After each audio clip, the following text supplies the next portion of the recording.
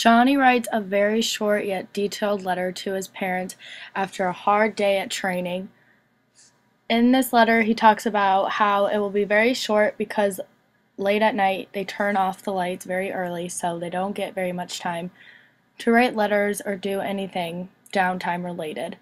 By the sounds of it, they have to go to bed really early so they can wake up. Johnny tells his parents that it has been very windy around camp and he is in charge of tying down the plants so they do not blow away. He also changes tires when it needs to be done.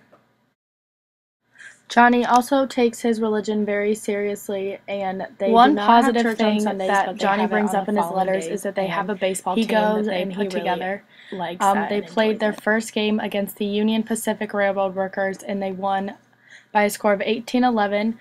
Um, the baseball team sounds like a good break from training that they have, and by the way he Johnny writes his ends letters, his letter very short good and sweet, telling his parents that he needs to get up early and get ready for the next day of training.